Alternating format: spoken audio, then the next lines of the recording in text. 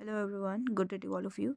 This video is about the genetic polymorphism. So, genetic variation is the differences in the DNA se sequence among individuals, that is, eye color, skin color, face shape, blood type, etc. Genetic polymorphism is the uh, variation or the existence of the more than one forms, and it is of three types first one is the single nucleotide polymorphism in which the deletion insertion substitution occurs uh, within a single nucleotide and it is an excellent genetic marker. And it is generally located in the intragenic sequence or the uh, within gene sequence and non-coding region. And it is a have uh, it is generally have no direct impact on the phenotype of an individual.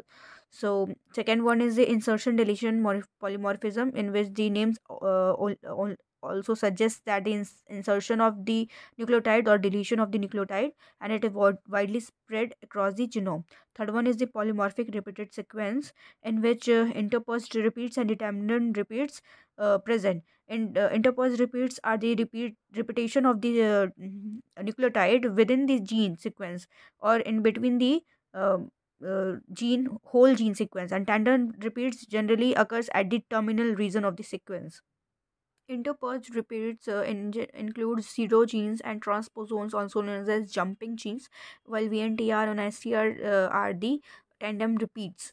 So there are sat- satellite DNA, also known as SAT DNA, which is of three types: macrosatellite, mini satellite, and the microsatellite. Uh, Genetic polymorphism may be the result of the chance process or may have been included by the external agents such as virus, radiation.